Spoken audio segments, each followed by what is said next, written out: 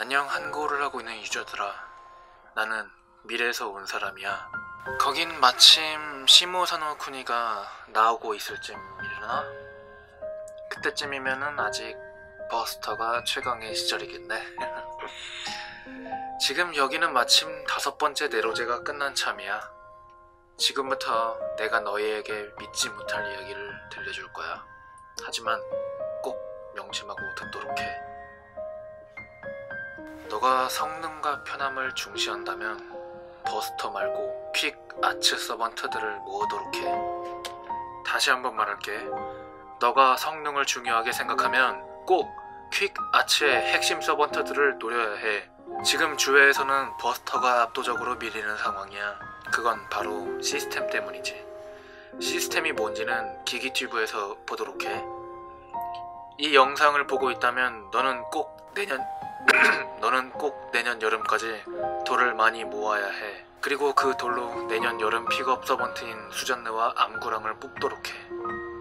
보구 레벨은 이 이상을 추천할게. 수잔느는 태생적으로 공격력이 약해서 그렇고 암구랑은 무상성 딜러라서 보그랩이 높아야 쓰기 좋을 거야. 특히 수잔느는 조건만 맞으면 6 이벤트 예장으로 파밍도 가능해.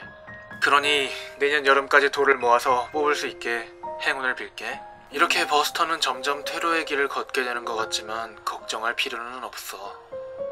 네로제의 엑시비전은 날이 갈수록 점점 어려워지고 특히 나 같은 명함충에게는 너무 힘들어지고 있어. 이런 나에게 한 명의 구원 투수가 있는데 바로 신준이라 불리는 아르주나 얼터야. 아르주나 얼터는 2부 4장에 나오는 Buster 대군 Berserker인데 거의 모든 적을 커버하는 특공 범위와 Berserker라는 이점으로 Arts와 Quick으로는 그 강함을 대체할 수가 없는 현존하는 가장 강한 대군 Servant라 생각해. 점점 어려워지는 exhibition quest에 이 신준을 데려가면 너는 못 깨는 고난이도 quest가 없을 거야. 단 보그 랩깁이 높을 때 말이지. 이렇게 신준이 버스터인 점에서도 있고 버티기 팟에서도 많이 활약하는 멀린도 꼭 뽑았으면 해. 괜히 나처럼 고생하지 말고 너희는 꼭 신준을 뽑아. 알았지? 이렇게 말하지만 사실 가장 중요한 서번트는 따로 있어. 그건 바로 너의 애정 캐릭터.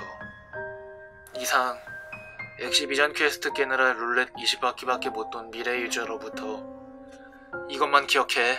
신준을 꼭 뽑아. 보그램 높은 신준. 그리고 퍼스트